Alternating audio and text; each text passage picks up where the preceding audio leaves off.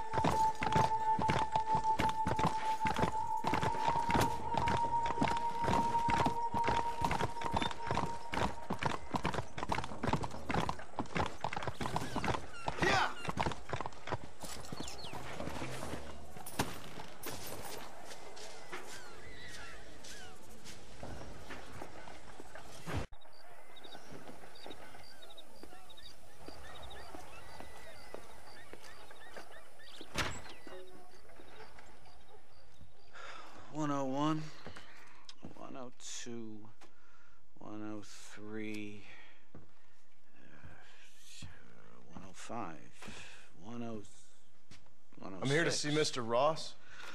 107, 109, Edgar Ross. 113. Upstairs on the right. 114. 115. 116. 117.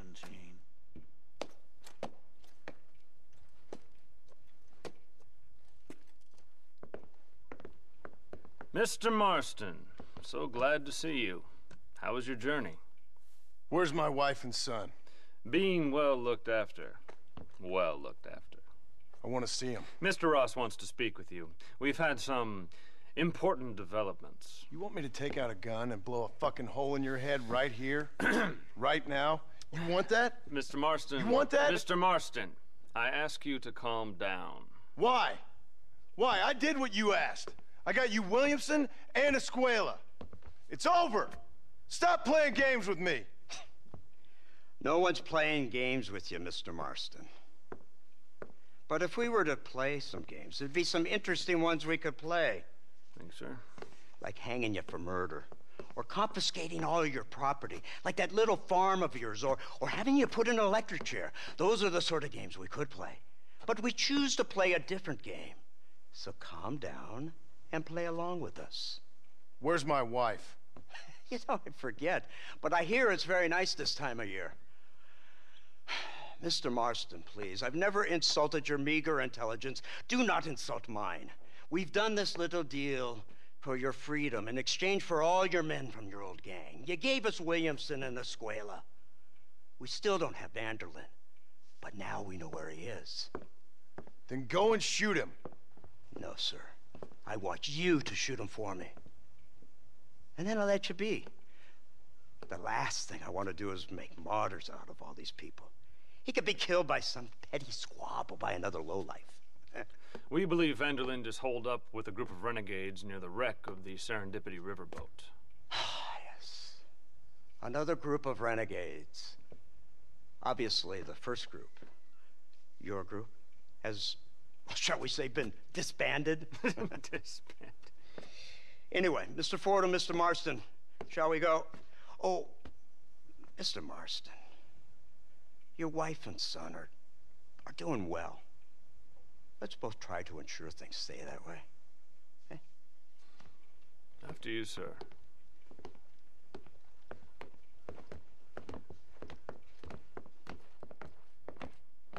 Oh, Mr. Marston, one more thing. This is for you. You're too kind. See, I have nothing but your best interest at heart.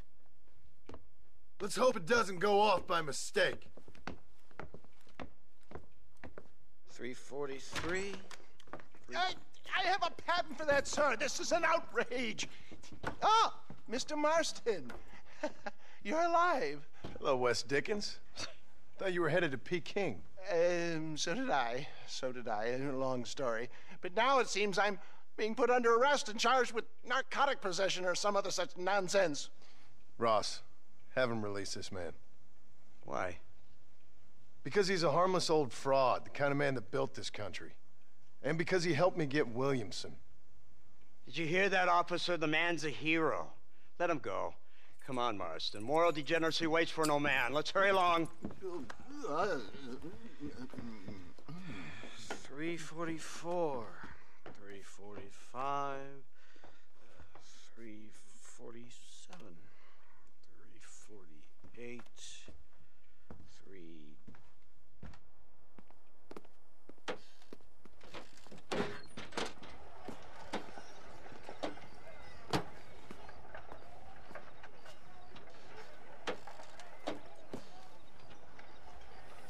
Head for the of the Serendipity, Mr. Fordham.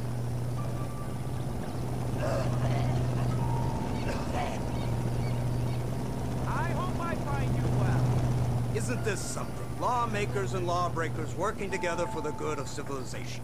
Like you always say, sir, the higher the stakes, the smarter you have to play the game. I can't imagine I ever said anything quite so trite. In any case, I'm not sure Mr. Marston would agree with us. Unfortunately, Mr. Marston isn't broad-minded enough to appreciate the unique opportunity we're offering him. Son of a whore. You best watch your damn mouth. And it's strange you should say that, Mr. Marston, because according to my files, you are the whore's son. Now, what else can I recall from the files? Oh, let's see.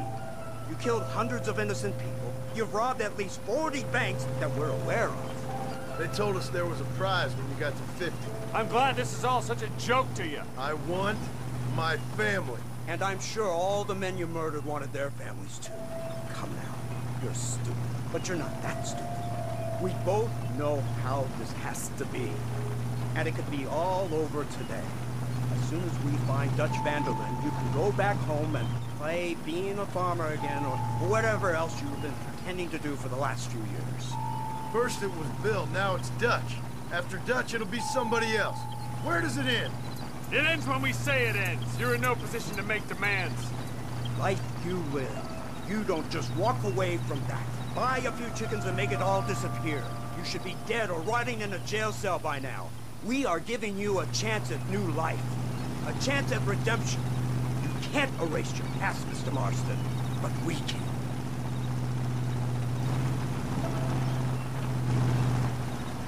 She's running well, sir. Such an elegant way to travel. What do you think of this automobile, Mr. Marston? Slow. But so convenient and reliable. Are you comfortable? No. You see this, Mr. Fordham? The brooding cowboy. There aren't many of these left, you know. A bit of a cliche, admittedly, but still a dying breed. Like buffalo. Just as dumb, but not quite as noble. They move most cows by rail these days, I hear. Not where I'm from, they don't. But you aren't from anywhere. A new dawn is breaking, Mr. Marston. This is the age of the machine. And soon, we'll all be living on the moon. Maybe.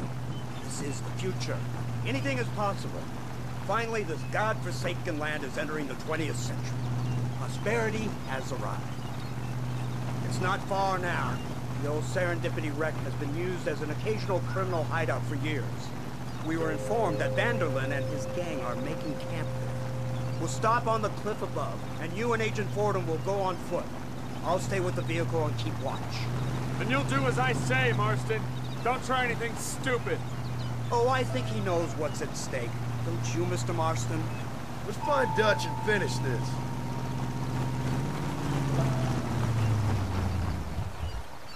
Come on then, Marston. You're with me.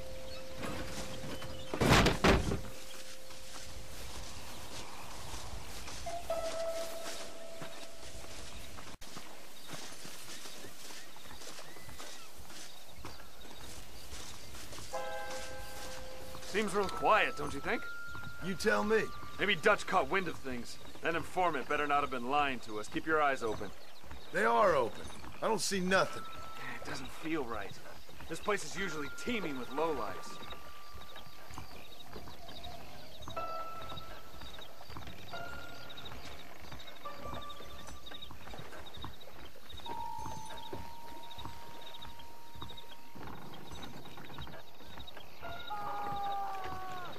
Up there.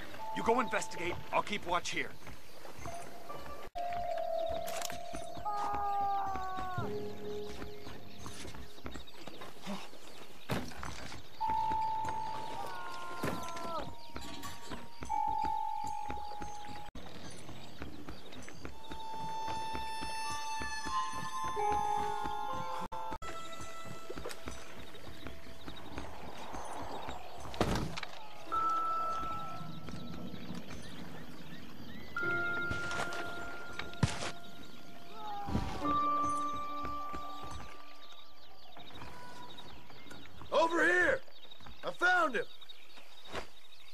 God, that's our informant. Nastas, what the hell's going on here? It's a trap! Shit, Marston! You'll have to carry this man. I don't think he can walk. Oh my God! Devil! Come on!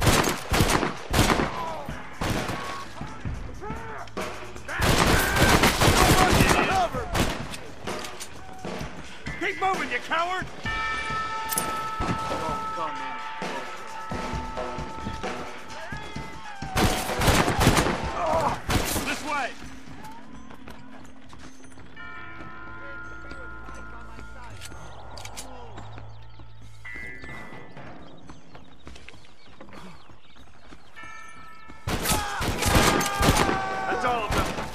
For the pier.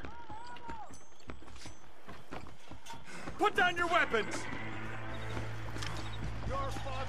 Stay with me!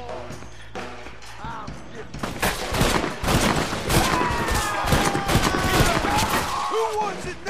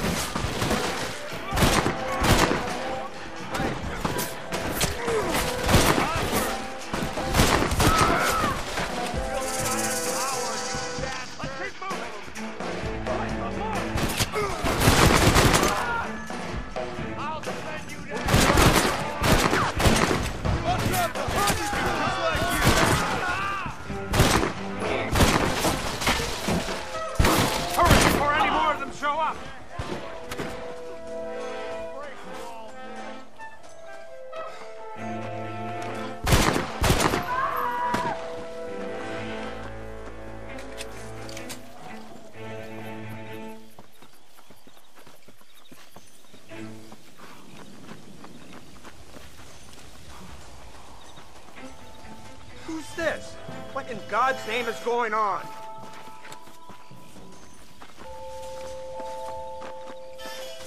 Marston, lift this fellow into the back seat. Put him in the car so we can get out of here. Let's go. There might be more of them.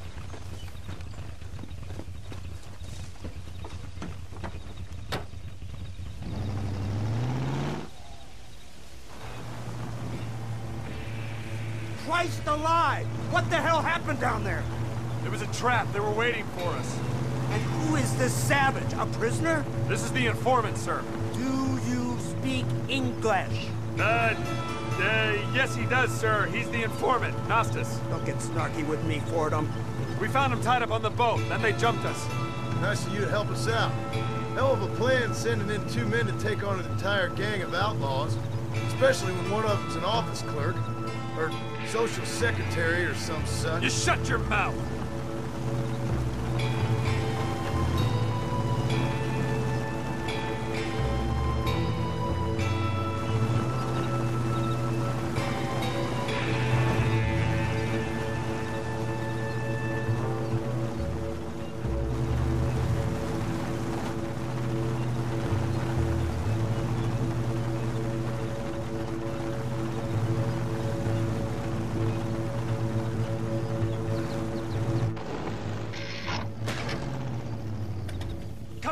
Not now. What's wrong? I don't know. The motor just gave out. Well, fix it, you fool. We need to get this man to a doctor. Of course, sir. It's Dutch's men. Marston, we'll hold them off. Fordham, we'll fix that damn engine.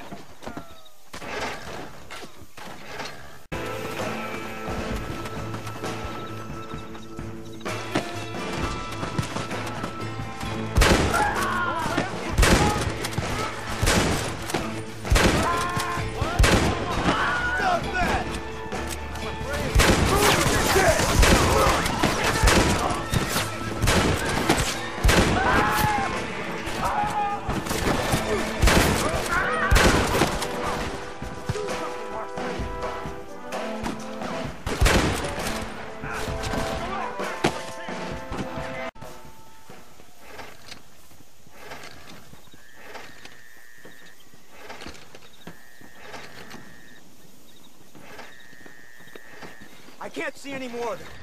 Fordham, are we ready? Yes, sir, I think so. Come on, let's get back to Blackwater.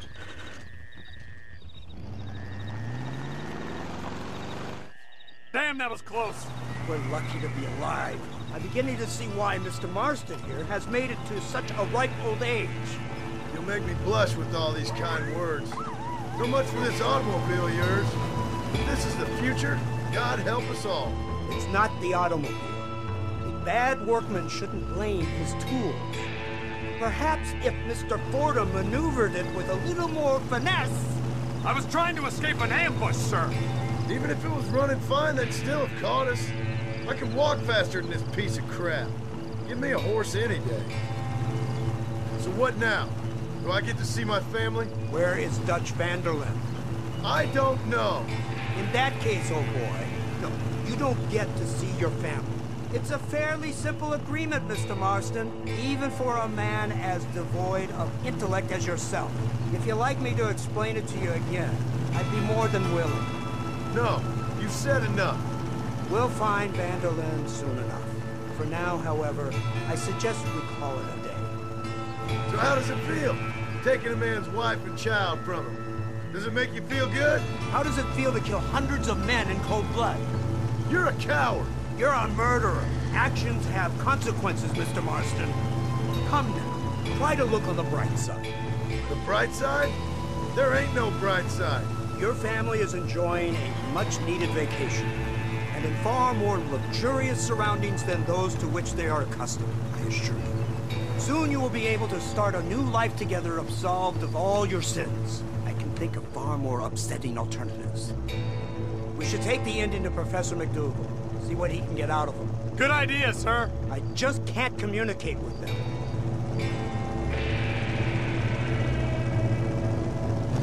Here we are. Thank God for that.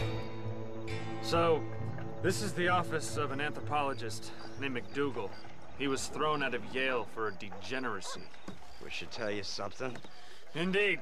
But he's been helping us deal with the natives in this area. They see him and they presume we're all idiot academics. Huh? Give me a hand here, Marston. Ah, Mr. Ross. Uh, Mr. Fordham? Good day. Good day. What on earth's going on here? Kid got shot in the leg.